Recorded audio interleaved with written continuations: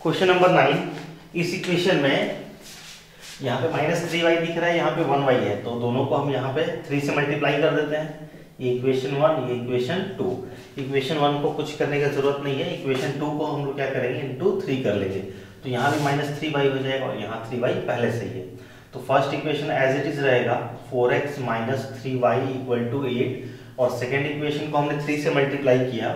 तो ये हो गया सिक्स थ्री जा eighteen x minus three y और यहाँ पे मल्टीप्लाई करेंगे इंटू थ्री तो थ्री थ्री कैंसिल हो जाएगा, ये आ गया सिर्फ़ ट्वेंटी नाइन तो ये तो first equation as it is है, और ये जो सेकेंड इक्वेशन है, इसको हम नाम दे देते हैं इक्वेशन नंबर थ्री क्योंकि ये चेंज हो गया, ठीक है? तो अब उसके बाद minus three y minus three y दोनों इक्वेशन को हम लोग सब करेंगे यहाँ पे साइन चेंज हो जाएगा। Minus three y plus three y ये कैंसिल हो गया।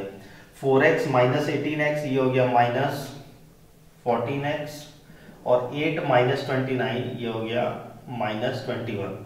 फिर x equal to minus twenty one upon minus fourteen minus minus cancel हो गया, और सेवन से थ्री बार में, और सेवन से टू बार में।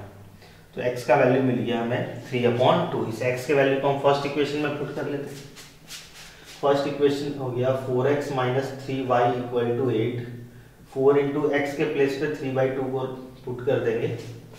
Minus three y equal to eight ये टू से कट गया टू बार में टू थ्री या six minus three y equal to eight six इधर जाएगा सब्ट्रैक्ट हो जाएगा। तो ये हो गया minus three y equal to two and y equal to two by minus three मतलब y equal to minus two by three तो x का वैल्यू हो गया three by two and y का वैल्यू हो गया माइनस टू बाई थ्री